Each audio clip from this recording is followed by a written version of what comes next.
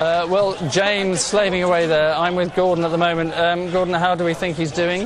Um, well, so Early far nothing's come out. Right. And uh, I'm slightly nervous. He's also working very closely with Edwina, which is very dangerous. It's not a good sign, I've been doing it for the last five days and I don't feel well. No, we saw earlier on. We caught you. I don't know if you were aware that you were going out live on ITV, but No, you were shouting at her quite forcibly. Oh, well, I mean, she overcooked the risotto three times. Um, I think it's Jen's fiance is in the dining room and they've waited an hour and 25 minutes for Right. risotto. So you let her have it. So I said, can you please move your ass? And she said, oh, shut up.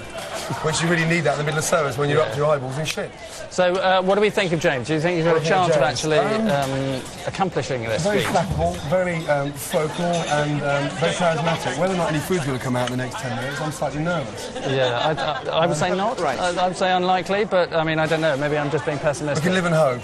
Yeah, yeah. Let's uh, well, let's hope. Yes, that, that something good comes out of this uh, hideous mess. Well, uh, James had the most votes when the uh, phone lines were frozen earlier on, which is why, as a reward, he's running around like a headless chicken now. Uh, but the lines are about to open again, and on Sunday, the celebrity with the lowest number of votes will be leaving Hell's Kitchen as we begin to search for the one celebrity chef that you want to see standing shoulder to shoulder with Michelin man uh, Gordon Ramsay. So, who should it be? Here's a look at the eight runners and riders. At no point, even in my lowest moment, have I wanted to go home because that's, and I'm not going to. It doesn't matter how bad it gets, I'm not going to. You know, I'm not here for six months. I'm only here for a week, so a bit of hard work didn't hurt, never killed anyone, did it? Even if I'm the first person to go home, which I, I'm assuming that I will be, then I, I'm, I'm, I feel like I've achieved something already.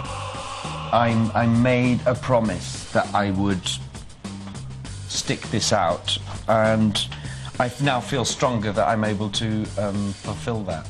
I'm sure things will get difficult again, but you know, I'm, I'm fucked if I'm going to give up now, frankly, because um, otherwise, all that, the effort over the past couple of days will sort of be for nothing. last night it, it came together in a big way. Uh, it was very exciting. And I began to feel much more calm and collected about it. Probably didn't look it, but what's going on inside the brain is, is, uh, is quite different. Um, I began to feel that left to my own devices I could do this.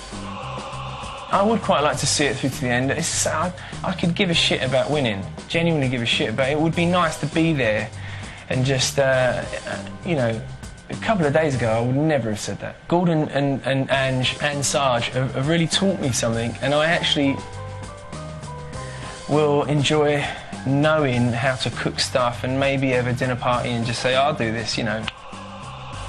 I would like to stay because it has been a challenge for me. It's been hard work though, but it's kind of it's taught me a lot as well. So we've got three more services, three or ten. Oh my god, ten. Ten makes me feel ill. Imagine having to do ten more services. And I actually sort of like the buzz just before um, service starts. You're kind of scrambling around trying to figure out if there's anything you left out. That's pretty exciting, I have to say. You know, I, I love that. You know, some of these people that are that are here, and, and and you know, we've been having a great time and making. You know, I've made some new friends, definitely. We, we're working this state of heightened drudgery. You know, you just slog away at it, but it's fine ingredients and the freshest produce. uh, you know, I didn't know what these people, any of these people, were going to be like before I came here. And I, obviously, you, got, everyone's got got to have an open mind and give each other the benefit of the doubt. But everyone has been fantastic. All my celeb friends are so wonderful.